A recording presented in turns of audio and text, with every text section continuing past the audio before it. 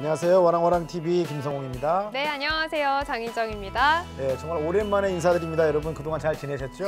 그러니까요. 네. 저희가 너무 오랜만에 인사를 드려서 시청자분들이 저희를 잊어버린 건 아닌가 이런 걱정이 되기도 하는데 이제 네. 다시 시작한 만큼 또 열심히 달려보도록 하겠습니다. 네. 저는 지건보 아나운서가 잠시 휴가로 자리를 비운 관계로 제가 또 이 자리로 깜짝 승진을 하게 됐네요. 네, 어, 뭐 지난번에도 말씀드렸습니다만 어, 휴가 자주 갔으면 좋겠습니다.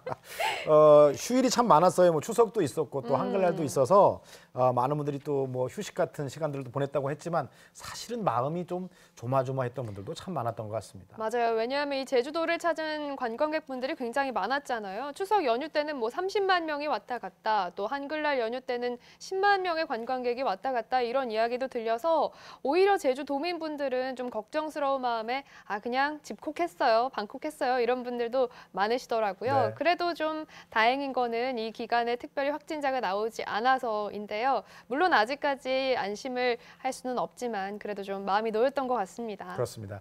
어, 이 모든 게 우리 모두가 서로 서로에게 또 도움을 주기 위해서 어, 거리두기도 열심히 지켰고 또 마스크 쓰기를 또 열심히 했던 그 힘이 결과가 바로 이런 것이 아니었나 싶습니다. 앞으로도 거리두기와 마스크 쓰기는 계속 또 저희들이 열심히 또 참여해 나가야 될 것 같습니다. 네, 그럼 와랑와랑 TV 본격적으로 시작해 볼게요.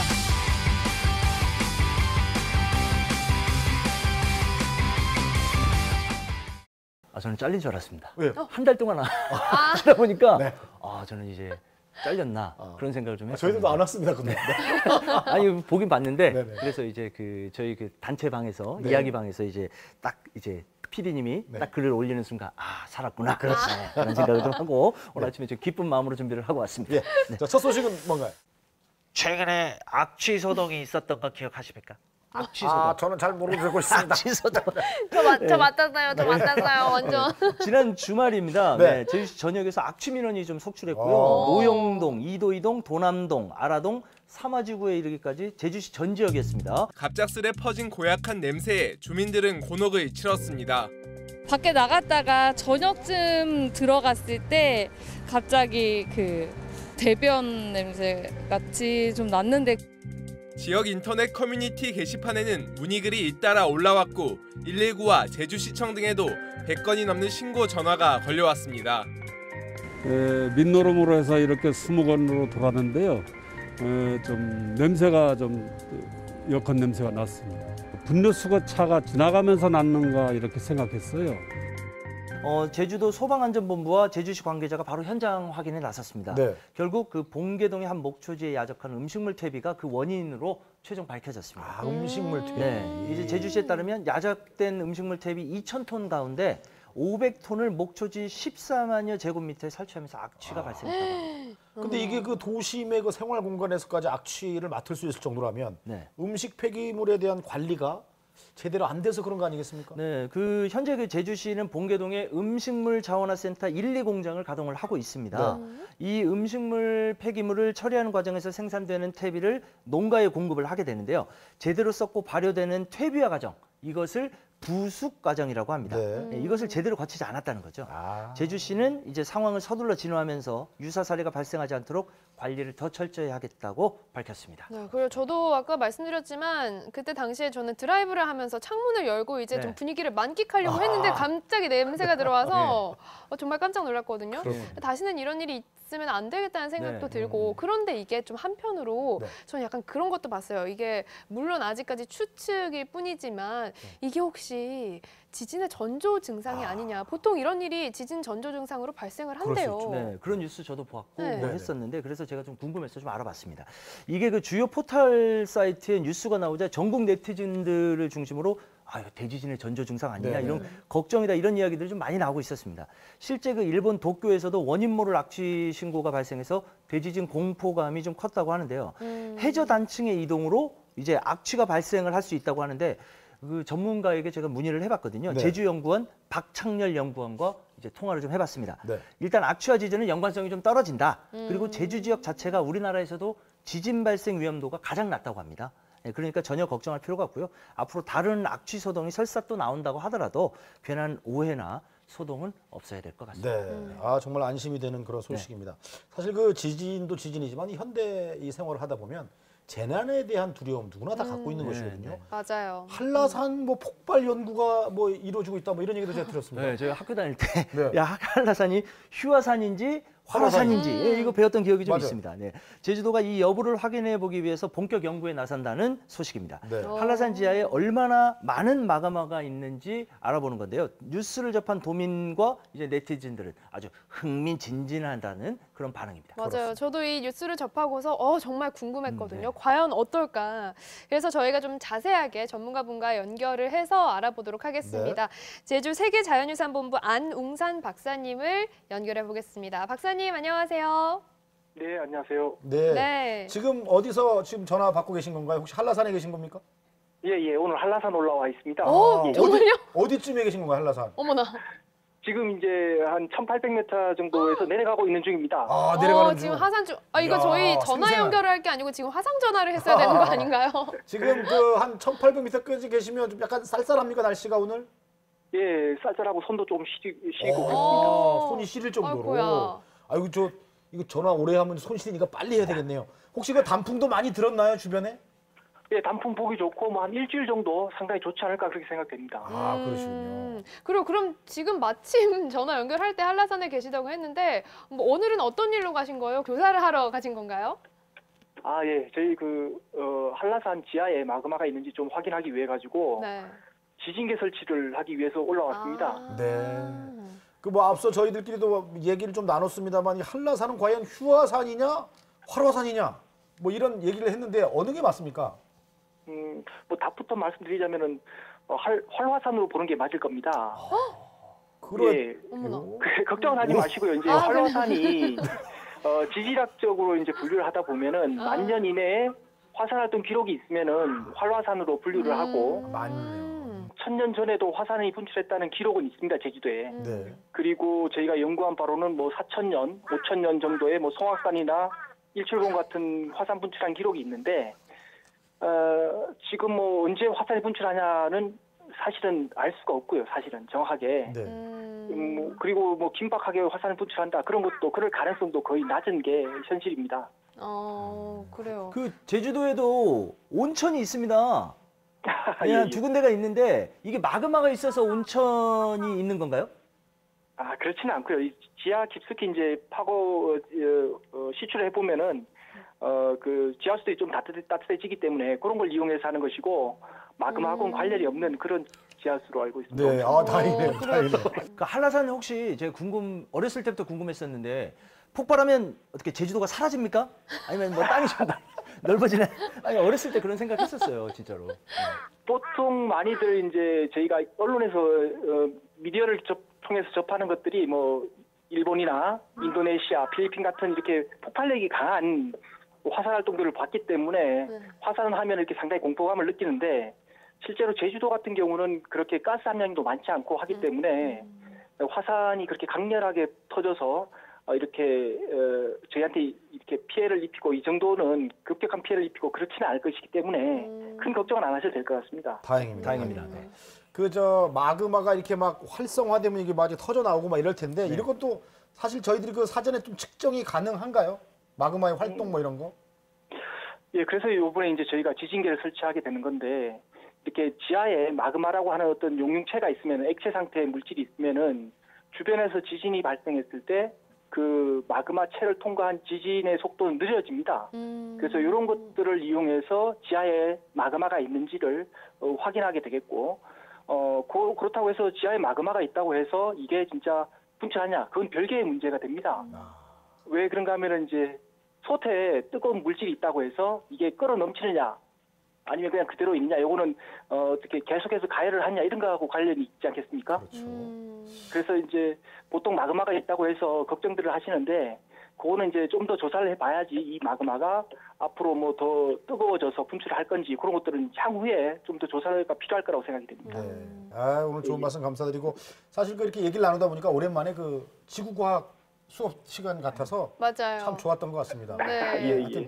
그 한라산에서 손실인데도 이렇게 통화 길게 해주셔서 감사드리고요. 예, 예. 박사님 마지막으로 저 개인적으로 질문 하나 드려도 되겠습니까? 예, 예. 안웅산 박사님이시잖아요. 예, 예. 재즈 좋아하십니까? 아, 재즈 웅산, 가수는 웅산. 좋아합니다. 아, 네.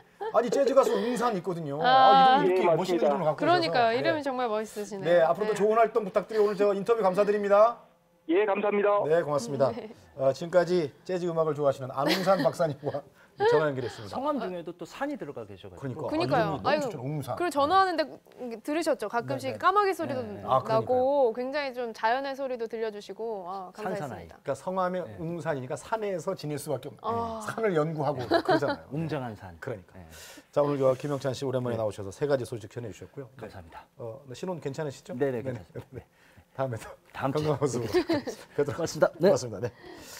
자 다음은 이제 마시수다 시간인데 이번 네. 주는 쉬고 다른 얘기를 좀 아. 우리가 하기로 했습니다. 어, 제주 사람들에게는 이 나눔 할망하면 보통 어떤 분이 떠오르죠? 그거 바로 제주의 의인 김만덕 아니겠습니까? 맞습니다. 네. 거산 김만덕이 가장 먼저 떠오르는데요. 10월이에요. 이 10월에는 김만덕 주간 행사가 마련되는 달이기도 합니다. 제가 앞서서 이 김만덕의 생애와 업적을 좀 따라가 보는 그런 역사 탐방을 하고 왔는데요. 만덕 역사 문화 탐방 시간 지금부터 함께 만나보도록 하겠습니다. 내가 조선의 CEO다. 바로 거상 김만덕입니다. 노블레스 오블리주를 실천한 그의 삶과 정신을 기리기 위해 해마다 이맘때면 김만덕 주간 행사가 열리는데요. 그의 세계와 흔적들을 특별하게 만나봅니다.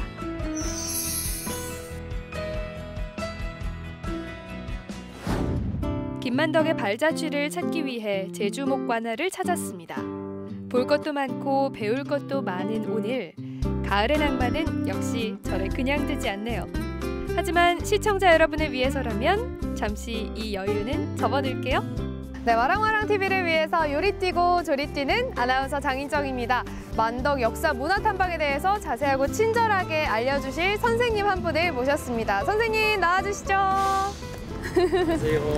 안녕하세요. 반갑습니다. 네, 반갑습니다. 우선 선생님 소개부터 간단하게 해주실까요? 예, 저는 제주 역사 문화를 공유하는 사단법인 질토레비라는 어, 사단법인이 있는데 이사장을 맡고 있는 문영택이라고 합니다. 오늘의 길잡이 문영택 선생님이십니다.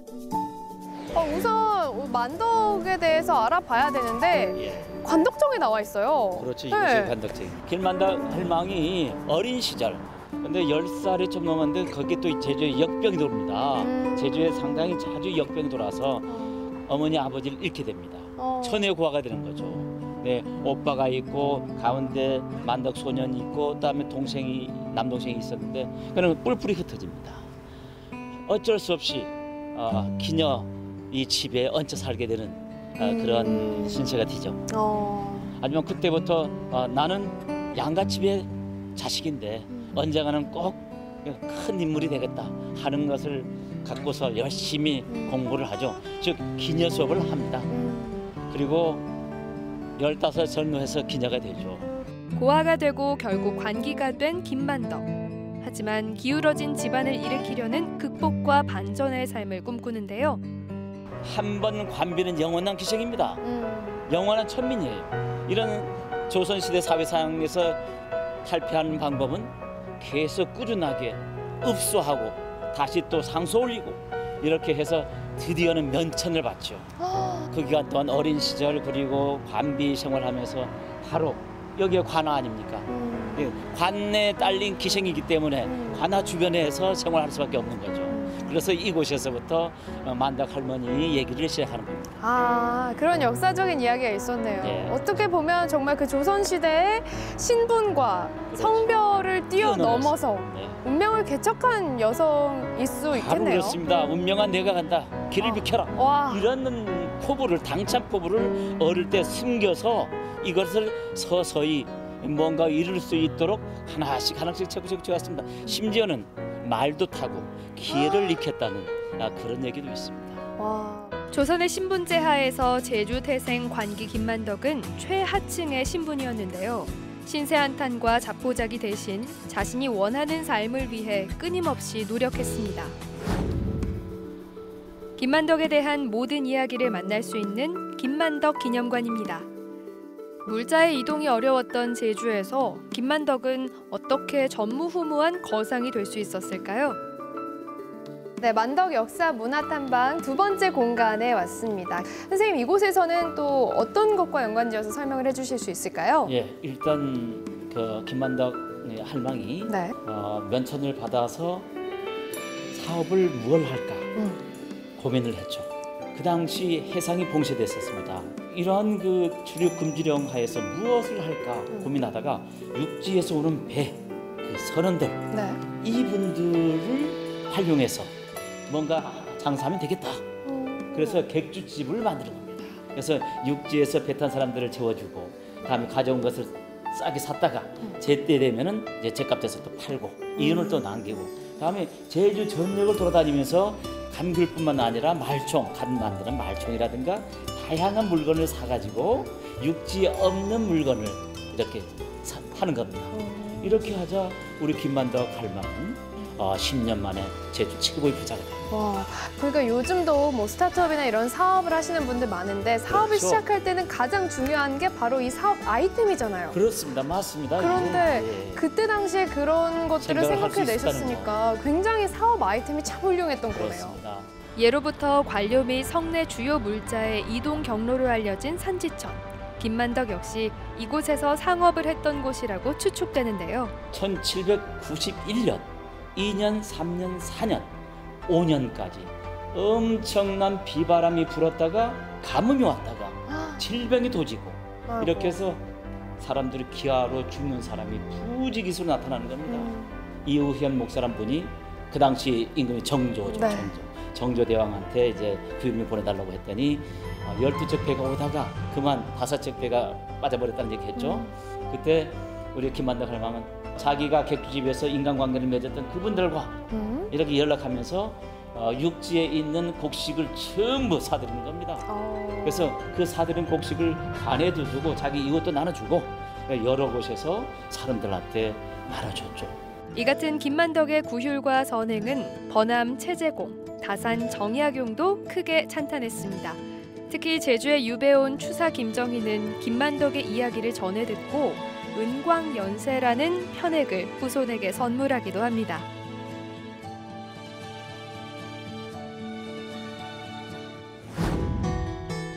김만덕의 묘가 자리한 모충사에 닿았습니다. 지금 나와 있는 곳은 선생님 모충사죠. 예, 모충사. 모충사 이곳에 그렇다면 우리 김만덕 할망의 묘지가 있는 걸까요? 예, 바로 저 바로 밑에 잠들어 계신데 아, 예, 김원덕 할망이 돌아가신 게 1812년입니다. 죽어서도 제주 사람들을 같이 이렇게 음. 살펴보고 할 테니 어, 저 고운이 모로 의에 묻혀달라. 음. 예, 그래서 이 공동묘지 위에 가장 높은 곳에다가 이제 무덤 에 있어서 쭉 오다가 1976년에 음. 예, 관을 팠어요. 관을 그대로 해서 지금 뭐 여기 아- 바로 앞에 모셨다가 네. 그다음에 일로 이제 모신 거죠. 제주 사람들은 김만덕 사후에도 그를 나눔 할망이라고 부르며 아이들에게 나눔의 정신을 가르쳐 왔는데요. 김만덕 묘 비무는 연구의 중요한 자료이기도 합니다.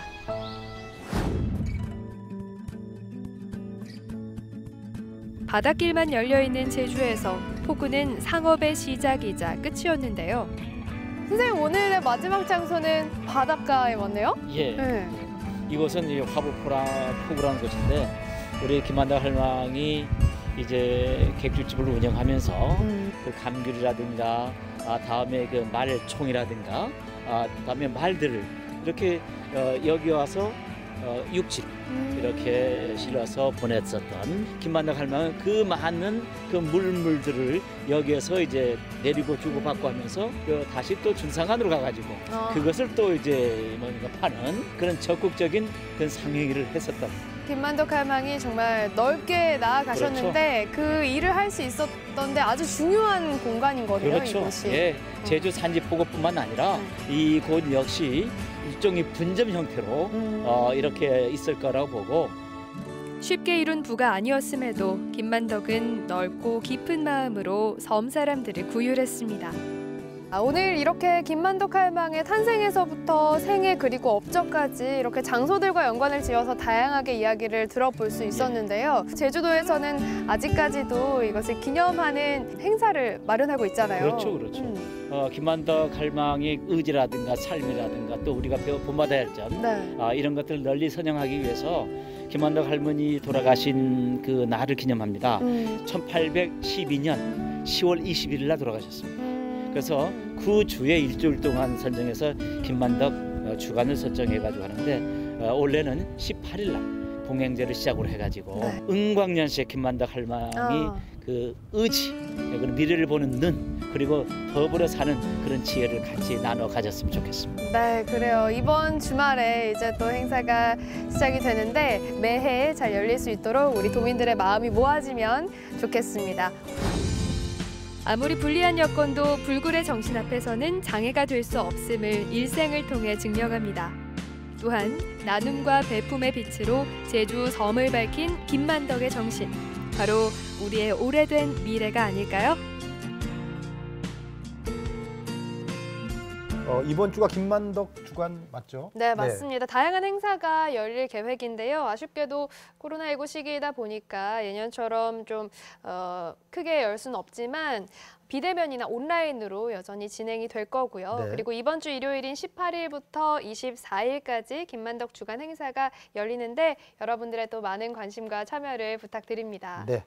자, 계속해서 다음 순서 이 오랜만에 돌아왔습니다. 우리 그 장애인들의 자립과 자활을 위한 직업 재활 시설들을 우리가 소개해 드리는 시간이죠. 네. 행복한 소비 가이드 순서를 준비하도록 하겠습니다. 그렇습니다.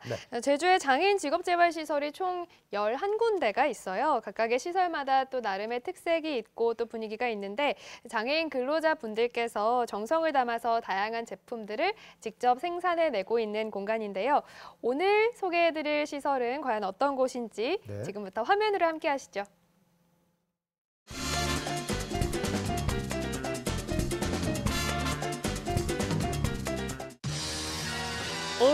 온 우주가 돕는 나 영업왕 이은정. 사원으로 시작했지만 지금은 랭킹 top. 야, 니 어느 이시고? 내 경주이시 37대 선호 이은정 아이가. 내가 이래봬도 와랑와랑 상사 여기 판매왕 영업 1위야. 오늘 내 실적을 너희들 내리 속에 콕콕 박히게, 니네들 가슴 속에 팍팍 꽂히게. 내가 실적으로 보여줄게. 영어방으로 출동한 첫 번째 현장은 청귤 수확이 한창인 과수원입니다. 아, 더워. 이옥자 과장님 되시죠? 예. 혼자 저렇게 입고 왔네. 아, 안녕하세요. 저 이번에 놀러 가는 것 같아요. 네. 홍보 영어 파트 영어방 이은정이라고 합니다. 아, 예, 반갑습니다. 아, 청귤 밭이죠?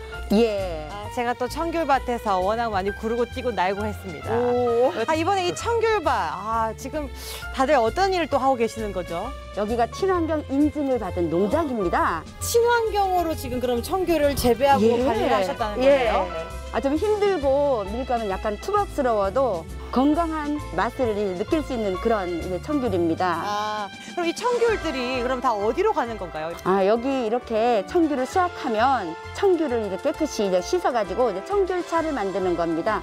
그리고 또 우리 카페를 운영하잖아요. 그 이제 카페에 가져가면은 카페에서가 이제 손님들한테 청귤청 음료를 판매하고 있습니다. 아, 그러면 청귤청으로 요거 에이드도 만들어서 또 판매 도 되고. 너무 맛있어요. 시원하고. 아, 그럼 제가 또 이런 거 어떻게 또 홍보하고 마케팅 해야 될지 감이 딱 왔거든요. 어, 선생님. 제비 선생님 너무 잘 맞는 것 같아요. 선생님. 과장님. 네? 과장님 마케팅 하셔야겠다. 너무 잘한다. 아니요. 선생님을 저희들이 잘 만난 것 같아요. 그럼 제가- 고마워요. 과장님이 제가 바로 그 둘이서 아주 친해졌네요. 소문난 브런치 카페로 점심엔 줄을 서야 할 정도랍니다. 어. 오, 맛있 직업 재활 교육을 받은 장애인 근로자들의 일터인데요. 바리스타로 일하는 강정훈 선배님 실력이 수준급이시죠? 과수원과 카페를 운영하며 장애인의 직업 재활과 자립을 돕는 시설 에코소랑인데요. 카페에서 사용할 원두를 고르는 작업이 한창이었습니다. 제가 어떤 부분을 조금 이렇게 영업을 할 수 있을까 좀 보러 왔거든요. 저희는 이제 특별한 원두를 가지고 있는데요. 그 이유는 저희가 이제 숙련된 사원분들이 메인으로 하나하나씩 생두를 네. 선별하시고 그다음에 저희 전문 로스터분이 로스트해 주시면 또 한 번 일일이 선별해가지고 만드는 특별한 원두입니다. 특별하네요, 진짜. 너무도 청결해요. 사실 로스팅하는데 이렇게까지 깨끗하지 않거든요. 그러니까 저희는 우선은 이제 에코소랑이라는 의미 자체가 네. 친환경 사랑도 있고 아, 그다음에 에코사랑. 사랑의 메아리라는 뜻도 있어요. 어. 모든 분들이 건강한 식재료로 건강하게 이제 마셨으면 하는 바람에 저희가 좀 더 힘들더라도 만들고 있습니다. 야. 근데 실제로 이런 거는 쓸 수가 있어요? 깨진 것도요. 네. 상품이에요. 아, 오케이. 와, 근데 도원 선배, 저는 솔직히 딱 봤을 때 뭘 골라야 될지는 진짜 모르는데 너무 잘하시는 것 같아요. 근데 일하신 지 얼마나 되신 거죠? 일하신 지는 6년 됐어요. 일한 지 6년이나 되셨어요? 네. 역시 전문가다운 손길이 남달랐어요. 네. 월급 들어올 때 기쁘시죠? 네. 월급 들어올 때 주로 뭐 하시나요? 2만 원은 굉장히 지금 구체적으로네. 2만 원은 용돈이고 아, 나머지 돈을? 그 제주은행이랑 농협이랑 통장 아, 여러 곳에 분산 투자를 한다고 하십니다. 분산 투자에 재테크를 일단 들어가신다고 하네요. 네. 이곳 에코소랑에서는요 정성껏 만든 커피를 포함해서 과수원에서 직접 수확해 생산한 청귤차 등 다양한 식품을 생산하는데요 광고 한번 보고 오실까요?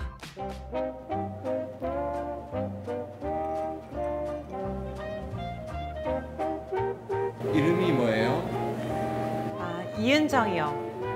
아시죠? 아니요. 커피 이름이 뭐예요? 에코소랑 커피요. 목이 찰 땐 에코소랑 커피 막걸리. 에코소랑에서 생산하는 또 하나 중요한 제품은 바로 휴지인데요 친환경적으로 생산해 믿고 쓸 수 있는 휴지랍니다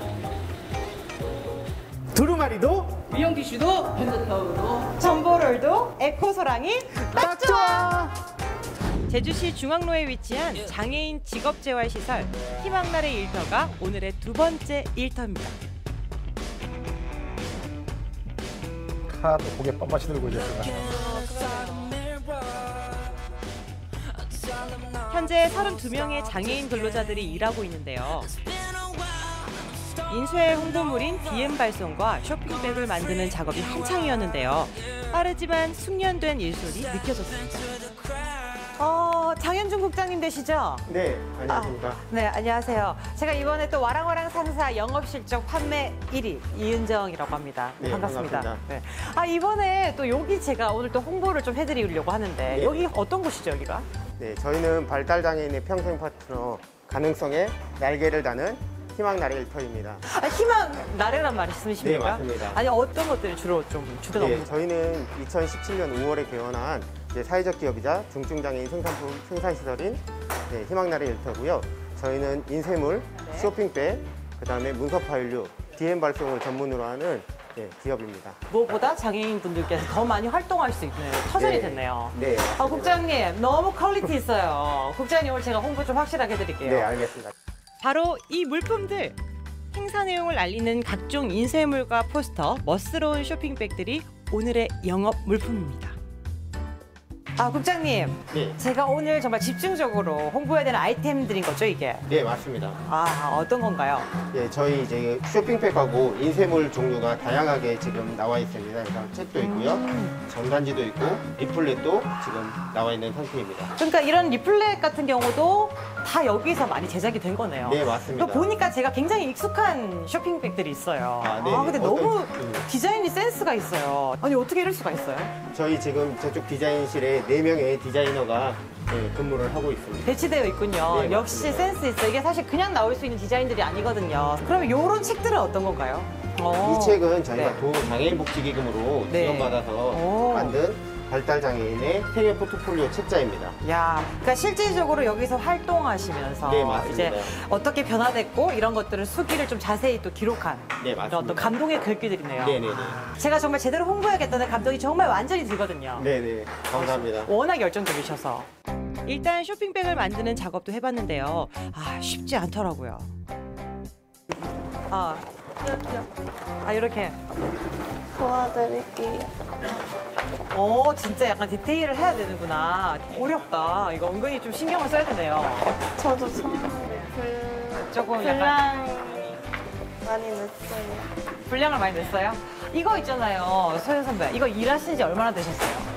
2년 2년 정도, 2년 정도 됐네요. 요거 일하면서 제일 조금 보람됐거나 좀 재밌었던 그런 때가 언제예요? 어, 열심히 일하면서 칭찬을 받았을 때요. 어, 잘한다고, 일 잘한다고 칭찬받았을 때. 진짜 기분 좋죠?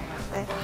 여기서 일해보니까 어때요? 분위기는 어때요? 배려해주고 좀 재밌는 서로 배려해주는 그런 분위기에 좀 재밌는 그런 유쾌한 분위기도 있는 거네요. 아, 여기서 앞으로 쭉 일을 하실 건가요? 퇴직까지 계속 하실 생각 있으신가요? 은퇴까지? 아, 지금 현재를 즐기자. 아, 좋습니다. 아, 계속 이어서 적어볼까요? 아, 이렇게. 처음엔 실수도 많았지만 이제 능숙한 근로자로 열심히 일하는 김소연 선배가 자립을 꿈꿀 수 있는 소중한 일터. 바로 옆 작업실에서는요 명함 제작도 이루어졌는데요. 무엇보다 발달 장애인들의 직접 그린 작품을 담아낸 다양한 굿즈를 제작 판매하고 있다는 것이 특징입니다.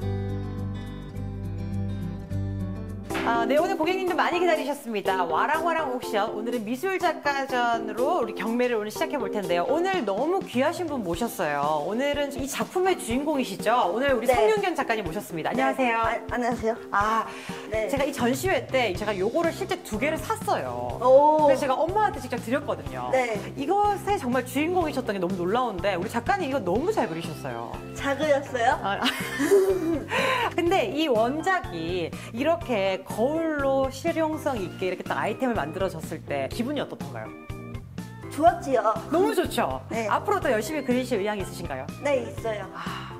자신의 작품이 멋진 상품으로 다시 태어나고 판매되는 것을 보면서 근로자분들의 의욕도 높아지겠죠? 희망나리 한 사람의 근로자로서 누리는 행복한 삶.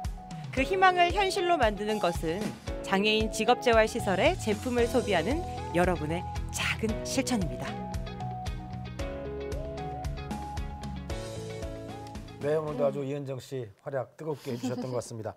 아까 그 저 원두를 이렇게 꼼꼼하게 막 골라내는 거 보면서 어, 그니까요. 예, 정말 저렇게 정성이 가득 담긴 네. 또 커피 또 브런치 이런 거 꼭 한번 맛보러 가봐야 될 것 같습니다. 네, 맞아요. 그리고 특히나 저는 좀 제가 사고 싶었던 거 아까 전에 그 그림이 그려져 있는 네, 손거울 네, 네. 있잖아요. 저는 약간 거울이 없으면 좀 뭔가 불안하거든요. 아, 그거를 꼭 사서 갖고 다니면 아, 다른 사람들도 좀 부러워할 것 같다는 생각도 들고 이렇게 장애인 직업재활 시설에서 나온 상품들 예쁘고 톡톡 튀는 상품들로 행복을 두 배로 늘릴 수 있는 예쁜 소비, 착한 소비를 하셨으면 좋겠습니다. 네, 여러분들도 많이 좀 참여해 주시면 좋을 것 같고요. 네. 자, 계속해서 이어지는 코너는 아주 재미있는 이야기들이 많이 모여 있는 별책 부록 출발하도록 하겠습니다.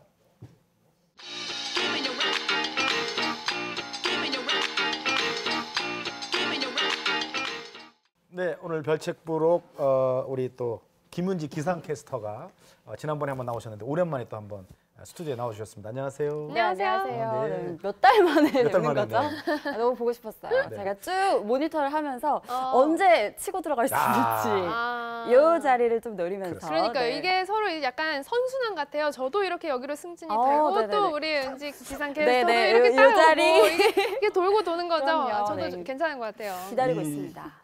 지건보 씨가 휴가 감으로써 많은 사람들이 행복, 아, 행복해지고 행복해지네요. 네, 그래서 이건 제가 봤을 때는 네. 어, 대승적 차원에서 아. 어, 휴가를 자주 가질 그럼요. 필요가 있다 저는 이렇게 아, 생각합니다. 약간 저는 근데 앞자리 후배라서 걱정이 되는데 이 부분 좀 잘라주시겠죠? 아, 괜찮아요. 비밀로 우리끼리 비밀로 하는 걸로 보고 싶어서. 네, 네. 자, 그나저나 오늘 또 재밌는 소식 모아오셨는데 어떤 소식으로 출발할까요? 네, 첫 번째 소식은요. 네. 우리나라의 자랑이자 보물이죠. 손흥민 선수에 관한 소식입니다. 네. 지난달 토트넘과 사우스햄튼 경기에서 한 경기에 무려 네골을 기록 한 대기록을 세웠는데요. 그렇죠. 와. 네, 이 경기 후로 손흥민 선수의 시장 가치가 천억 원대로. 상승했다고 합니다.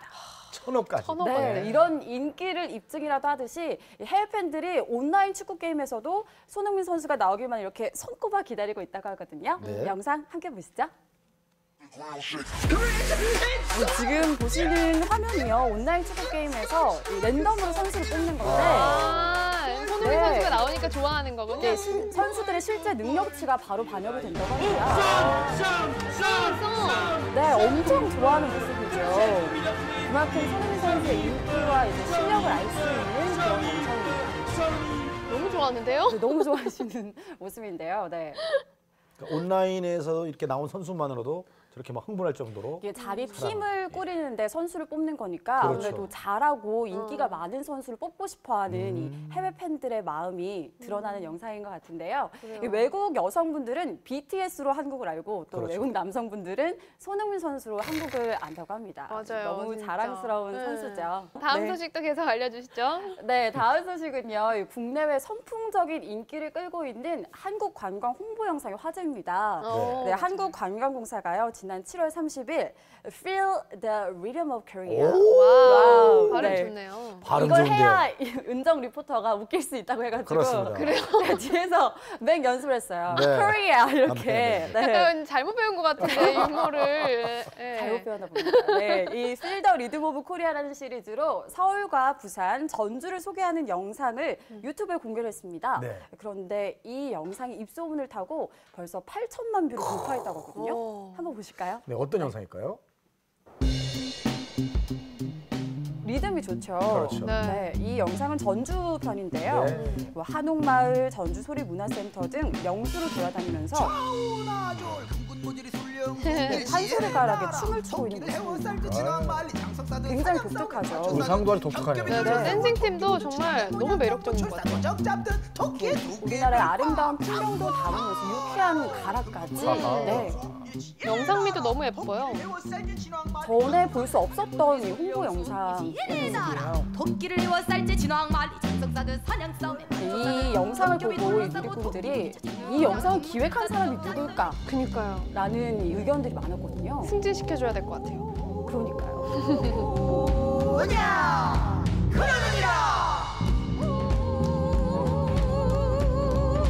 그것이 우리 수국 남여라고 하는 것이다. 아름다운 자연 풍경이 정말 한국이 얼마나 아름다운 곳인지를 해외에 계신 분들에게 알릴 수 있는 영상이 아닌가 싶은데요. 아까 말씀드렸듯이 이 영상을 보고 이 누리꾼들이 대체 이 영상 기획한 사람 누군지 그렇죠. 궁금해하시는. 분들이 많았어요. 그래서 이 영상 기획자분들을 이 코로나19 시국이라 비대면으로 인터뷰를 했다고 하거든요. 그 영상도 함께 보실까요? 안녕하세요. 저는 한국관광공사에서 이 영상을 기획한 브랜드 마케팅 팀장 오충소입니다. 이분이시군요. 저희가 시사회 할 때 그 사찰에서 스님이 춤추는 거 음, 이런 것도 네. 약간 아 이거 저기 괜히 종교에 대한 그 모욕 아니냐 이런 의견 들고 있었고 그다음에 MBS 댄스 컴퍼니 의상이 특이하잖아요. 그런 의상에 대한 좀 얘기도 있었고 그래서 내부에서도 약간 의견이 있었어요. 그 이게 도대체 한국 관광 홍보 영상으로 과연 적합한가? 그런데 저는 기본적으로는 아무도 하지 않는 아무도 즐기지 않는 전통은 이제 더 이상 그냥 박물관에만 있는 거지 이제는 전통을 뭔가 현대화시켜서 끌어서 그렇죠. 재해석하고 즐겨야 된다고 생각하거든요. 그러니까 보너스. 네 많이 봤어요. 제일 중요한 부분. 공간이 이런 거 해준 사람 상 줘야 된다부터 해서 되게 기분이 되게 좋고 그럼 실제로 보너스 받으셨나요? 아니요 특별히 보너스는 못 받고요. 아이고. 아, 보너스는 못 받으셨다고 한다. 네, 이렇게 이 영상 기획자분들에 대한 칭찬도 많았고요. 그동안 우리나라 홍보 영상 하면 K-팝 스타가 등장하거나 그렇죠. 김치, 비빔밥이 많이 나왔었는데 정말 색다른 홍보 영상이 나와서 해외 팬분들 혹은 해외에서 우리나라를 잘 몰랐던 분들도 한국에 대해서 잘 알 수 있게 됐다는 반응들이 많았습니다. 맞아요. 저는 그 제주도도 이런 홍보 영상들이 좀 제주도도 만들어졌으면 어, 좋겠어요. 괜찮을 너무 것 좋죠. 같은데요. 네, 어. 같이 우리 한번 네, 제가 기획해 봅시다. 그럴까요? 네, 우리가 또. 아이디어들이 네, 있으니까요. 그럼요. 네. 재미있는 약간 춤 같은 것도 기획을 그럼요. 해서 사투리로 그냥 네. 바로 나가서 아니면 뭐 기상을 알려줄 때도 아까처럼 약간 음악과 함께 어, 너무 좋죠. 어, 괜찮을 것 뭔가 좀 파격적인 것들이 좀 필요하다고 봅니다. 연락 주세요. 네. 자, 어떤 자꾸 연락을 기다리시는 네, 거죠? 자꾸 이렇게 기다리네요. 연락을 그래요. 많이 기다리고 있습니다. 항상 연락을 기다리는 별책 프로 우리 김은지 기상 캐스터였고요. 어, 빠른 시일 내에 뵐 수 있기를 네, 기대하겠습니다. 빠른 시일 내에 뵙도록 하겠습니다. 네, 고맙습니다. 네, 고맙습니다. 안녕히 계세요. 자, 계속해서 다음 순서는요. 네. 또 어려운 예술을 또 쉽게 풀어보는 외람된 문화생활로 여러분을 초대하겠습니다.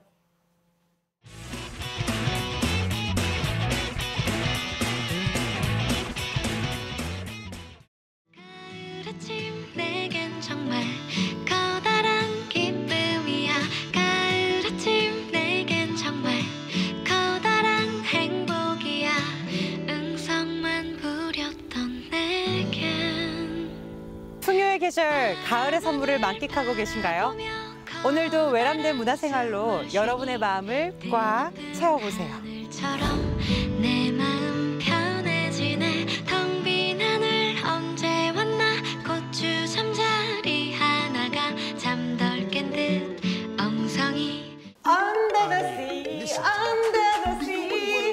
굉장히 이 바닷속에서 완전 헤엄치는 듯한 이런 작품들을 느낄 수가 있어요. 근데 이 작품들이 다 하나같이 한지 위에다 그렸다는 게 충격적이에요. 예, 여기를 보시면 네. 그 한지다 하는 게 네. 달도 이제 핑크 달이에요. 달도. 근데 되게 핑크 달에 하고, 밑에 해마도 있고. 예, 그러면 여기 밑에 바다에 둥근 거는 이제 물방울을 상징하는 거예요. 물방울 상징하고 이제 내일도 이제, 해내자. 음, 일터에 나가서 해오리라. 전체적으로 푸른 빛의 물감들을 굉장히 많이 쓰셨어요. 그러니까 네. 바닷속이라서 물론 그런 것도 있지만 진짜 이 어둠 속에서도 헤쳐나가는 그런 해녀의 느낌이랄까요. 네, 이제 해녀도 다 천재성이 있는 거예요. 해녀도 끼가 있어야 하는구나. 정말 그 특징. 아니, 3, 4분을 끼가 아니고 아니. 참을 수 있는 능력이 있는 거예요. 해녀도 타고나야 되죠. 타고나야죠. 타고나야 되더라고요. 저는 딱 30초예요. 30초 물에 들어가면 거기 끝이에요. 저도요. 저도 그때 알았어요. 제가 방송을 열심히 해야 된다는 거를.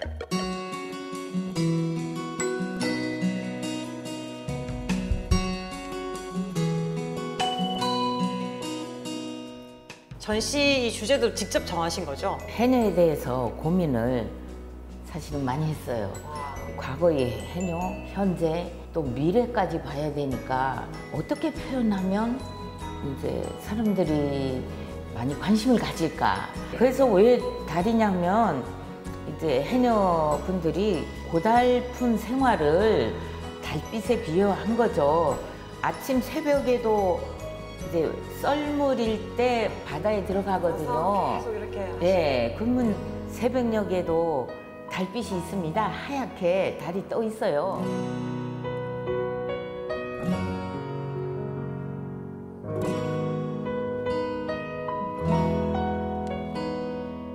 아, 강민순 작가님 오늘 있잖아요. 요 작품들과 조금 느낌을 맞춰서 요 밤의 여왕 컨셉으로 좀 의상을 맞춰 입고 오신 건가요?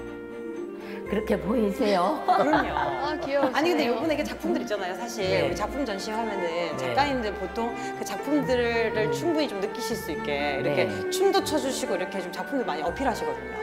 아, 그래요? 무조건 있어요. 아, 저는 춤은 잘 춰요. 네. 아니 춤을 잘 추시나요? 그래요. 탱고를 좋아해요. 어머머. 이 달빛 해녀의 이 작품들 백그라운드로 삼아서 네. 완전히 좀 느낌 있게 한번 가면 너무 좋을 것 같아요. 어머나.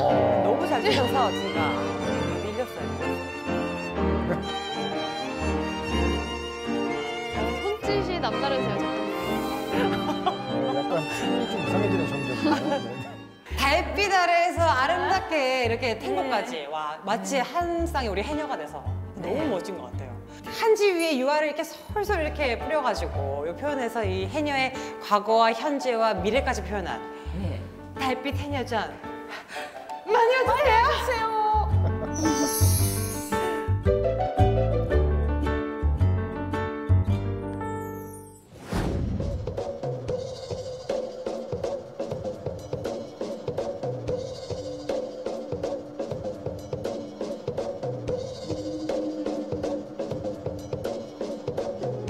김성훈 작가님 안녕하세요. 네, 안녕하십니까. 아, 이번에 이 COVID-19 and Human이라는 어, 네. 어떤 이 사진 전시회 사실 이번에는 상당히 많은 사진들이 전시가 되더라고요. 150점 정도. 예, 지금 어, 20개국 나라에서 출품한 중국, 일본부터 네.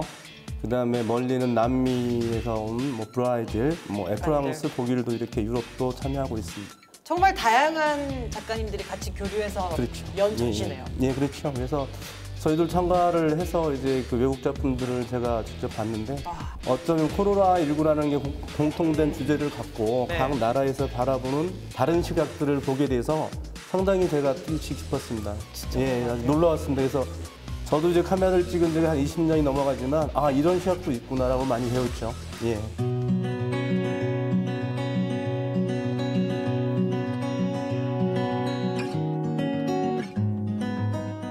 어쩌면 일상들을 그냥 진솔하게 카메라에 담았다고 보시면 되는 거고요. 우리 지금 코로나 겪고 있는 거를 끌어안아서 가자는 어떤 그런 의미도 있는 것 같아요. 근데 우리 작가님은 여기 그러면 은 전체 사진 교류전의 그 대장님이신 거예요? 아니 아니요 저는 옆에서 허드렛 일을 도와주는 이제 사무국장으로 있습니다. 어. 그래서 와서 이제 뭐 사진도 걸어야 되고 내려야 되고 막 쓰레기도 이런, 정리하고 예. 아 예 그렇죠. 이렇게 질서 정리도 하시고. 예 그렇게 하고 근데 있어요. 예. 지금 인터뷰가 처음이라고 하셨잖아요. 이런 아, 예, 방송. 예, 예, 출연이. 예, 예, 예, 예. 근데 너무 자연스럽고 너무 센스 있게 잘하세요. 글쎄 저도 이런 피가 흐르는 줄 몰랐어요. 타고났죠? 아, 예, 아니요. 저, 아니, 지금 저 놀라고 있어요, 지금. 아, 요거 좀 이색적이었다. 이런 작품이 어떤 게 있어요? 그 브라질에서 온 작품인데요. 어, 두 장을 연속으로 만든 작품이거든요. 네. 근데 그게 어떤 그 다중 노출의 기법을 제대로 살려 보여준 네. 그런 작품이라 그래서 제가 그 사진을 볼때 진짜 쇼킹했습니다.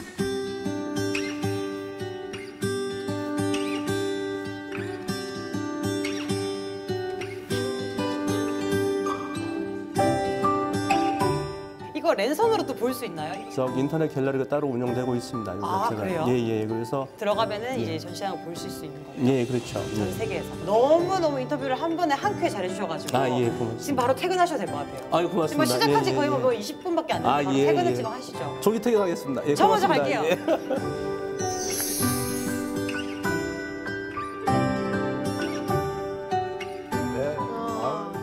사진전 그리고 또 우리 해녀 작품전. 네. 그뭐 평소에도 춤을 자주 추긴 하지만 그러게요. 아까 그 작가님은 뭐 탱고를 추는데 탱고. 네. 아. 어, 민망하지 않으셨습니까? 아, 근데 보니까 한수 약간 밀린 것 같아요. 작가님의 이 시선이 예사롭지 않던데. 그러니까 진짜 기가 너무 세세요. 아. 작품을 오래 하셨고 굉장히 그런 또 영감을 받고 작품을 그렇죠, 많이 하셨잖아요. 음. 기운이 저도 되게 기가 세다고 어디 가서 밀리지 않는데 약하진 않죠, 그렇죠. 약하진 않잖아요, 그렇죠. 사실은. 근데 정말 너무 기운이 세셔가지고 음. 근데 또 하다 보니까 제가 느낀 게 아, 리포터 하려면 탱고도 할 줄 알고 별별 춤을 다 춰야 별걸 다 되는구나. 해야 되죠. 진짜 느꼈죠. 보니까 정말 작가님들과의 케미가 날이 갈수록 더 아. 높아지는 것 같아요. 진짜 이게 처음에는 좀 어색하기도 했고 이제 맨 처음 외람된 문화생활 할 땐 그랬는데 이제 하다 보니까 결국은 우리가 인간과 인간의 소통이더라고요. 그렇죠. 그래서 진짜 어떤 그 작가님의 예술의 깊은 세계를 이해하고 인생을 이해하고 또 진짜 그 사람과 사람을 만나는 진짜 카페에서 차를 마시면서 토크쇼를 한다고 생각했을 때 네. 진짜 친구를 만난다 생각하고 편안하게 하니까 이게 점점점 어떤 깊은 교류가 이어지는 그 음. 일 이상의 어떤 그런 것들을 많이 느낄 수 있었죠. 음. 그렇습니다. 그리고 두 번째가 국제 사진 교류전. 저는 깜짝 놀랐던 게 지금 이 자리에 계신 김성홍 MC님의 형하더라고요. 그니까요. 저 방금 큰 깜짝 형이죠. 놀랐어요. 이야기 듣고. 아, 바로 위에 형입니다. 바로 네. 위에 네네네. 형이시죠. 아, 근데 진짜. 형님이 너무 동안이신 것 같은데. 형님이 너무 너무 정말 정직하고 네. 좀 자상하게 생기셨어요. 네, 네. 그래서 저는 전혀 설마 우리 동생분이 김성홍 MC일 줄은 생각도 못하고. 그러면 그 반대란 얘기인가요? 저희 MC 선생님은 우리 정직하고 MC님은 살짝 약간 안 자상하다는 살짝? 날리는 맛이 있지. 그러니까 살짝 이렇게 예, 예, 예, 술을 예. 좀 하신 그런 느낌이 있잖아요. 예, 예. 그래서 조금 그런 그런 느낌이 있죠. 자, 좋고요. 네.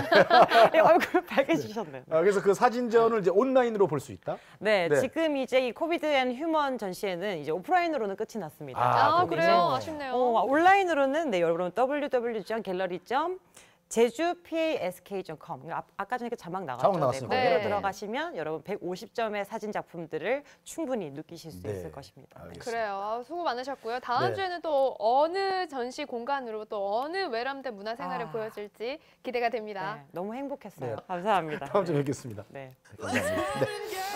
아, 벌써 이렇게 또 오랜만에 찾아왔는데 와랑와랑 TV 마칠 시간이 어, 됐습니다. 그러게요. 어, 안내 하나를 좀 해드릴 게 있네요. 제2공항 갈등 해소를 위한 어, 제주공항 확장 가능성 심층 토론회가 19일과 20일 이틀 동안 마련이 되고요. 어, 제주 MBC 유튜브와 TV를 통해서 어, 생중계가 됩니다. 여러분 어, 많이 또 관심을 갖고 있는 부분들이니까 여러분 들어오셔서 함께 많이 봐주시고 여러분 의견들도 많이 남겨주시면 좋을 것 같습니다. 네, 자 와랑와랑 TV 이번 주는 여기서 마치도록 하겠습니다. 다음 주에 뵙겠습니다, 여러분. 고맙습니다. 고맙습니다.